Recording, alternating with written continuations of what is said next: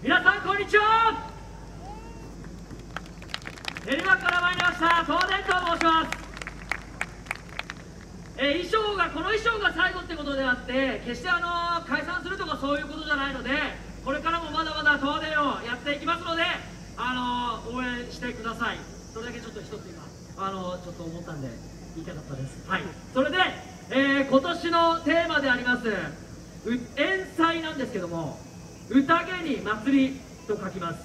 皆さん何も気にせずに宴開きたくないですか？何も気にせずにお祭りに足を運びたくないですか？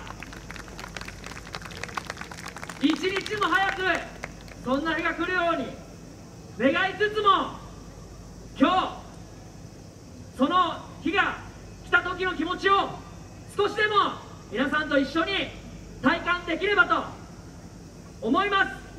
そのために我々一生懸命演舞させていただきますので手拍子身振り手振りできる範囲で構いません。皆さんと一緒に最後まで楽しんでいきたいと思いますのでよろしくお願いしま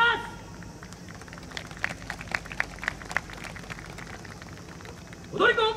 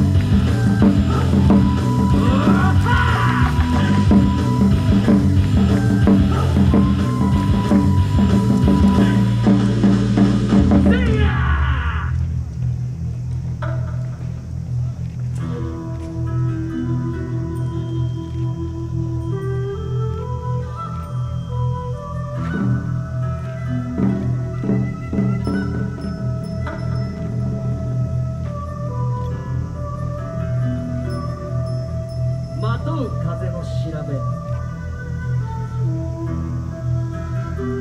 せせらぎの光。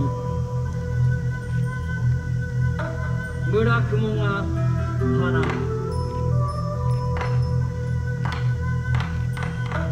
全身全霊を研ぎ澄まし皆の衆宴の準備を整えよう。